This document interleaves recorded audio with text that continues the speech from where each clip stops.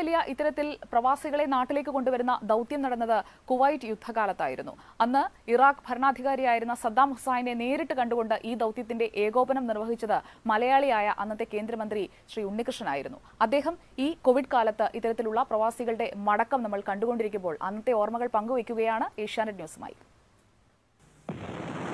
Kuwait യുദ്ധകാലം. ആയിരത്തി തൊള്ളായിരത്തി തൊണ്ണൂറ് ഓഗസ്റ്റ് രണ്ടിന് ഇറാഖ് പട്ടാളം കുവൈറ്റിലേക്ക് കടന്നു കയറിയതോടെ മരണം മുന്നിൽ കണ്ടത് ആയിരക്കണക്കിന് ഇന്ത്യക്കാർ.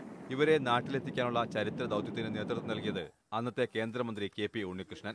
കോഴിക്കോട് പന്ന്യങ്കരയിലെ വീട്ടിലിരുന്ന് ആ മഹാദൗത്യത്തെ ഓർത്തെടുക്കുന്നു ഇദ്ദേഹം. അത് അസാധാരണമായ ഒരു രക്ഷാദൗത്യമായിരുന്നു. ഇന്ത്യയെ സംബന്ധിച്ചിടത്തോളം ഒന്നര ലക്ഷത്തോളം നമ്മുടെ പൗരന്മാർ അതിൽ കുവൈറ്റിൽ കുടുങ്ങിയിരുന്നു. അതിൽ ഇന്ത്യക്കാരെ നാട്ടിലെത്തിക്കാനുള്ള ദൗത്യം ഏൽപ്പിച്ചത് പിന്നീട് കെ പി ഉണ്ണികൃഷ്ണനിലേക്ക്. ഇറാഖ് പ്രസിഡന്റ് സദ്ദാം ഹുസൈനെ നേരിൽ കണ്ട് അനുമതി വാങ്ങി. സദ്ദാമിന്റെ രഹസ്യ സങ്കേതത്തിലായിരുന്നു ചർച്ച.